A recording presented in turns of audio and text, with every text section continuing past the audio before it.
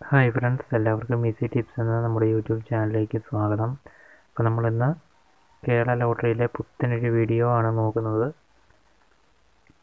Karunya plus ലോട്ടറിയിലെ ഈ ഒരു ട്രിക്കിലൂടെ എങ്ങനെ ലോട്ടറിയിലെ പ്രൈസ് കണ്ടെത്താം. അപ്പോൾ നമുക്ക് നോക്കാം.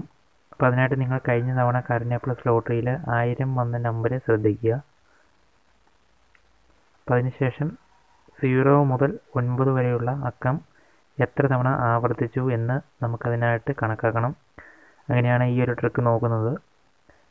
അങ്ങനെ നോക്കിയ ശേഷം നിങ്ങൾക്കത് ഒരു ഫോർ ഡിജിറ്റ് നമ്പർ കിട്ടും. ആ നമ്പർ തീർച്ചയായിട്ടും സാധ്യതയുള്ള നമ്പറായിരിക്കും അതും അതിന്റെ കറക്റ്റ് നമ്പർ അപ്പോൾ ഈ നമ്പറുകൾക്കാണ് കഴിഞ്ഞ പ്ലസ് ലോട്ടറിയിൽ ആയിരം രൂപ പ്രൈസ് വീണിരിക്കുന്ന നമ്പർ അപ്പോൾ ഈ നമ്പറിനകത്ത് നിന്ന് പൂജ്യം എത്ര ഉണ്ട്?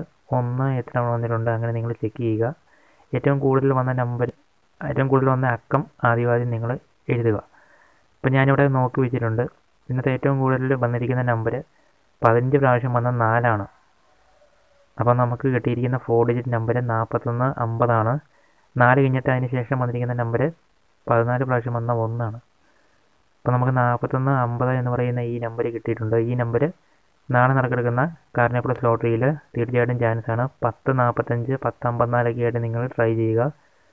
എല്ലാവർക്കും ഒരു പ്രൈസ് കിട്ടട്ടെ എന്ന് ആശംസിക്കുന്നു. Okay friends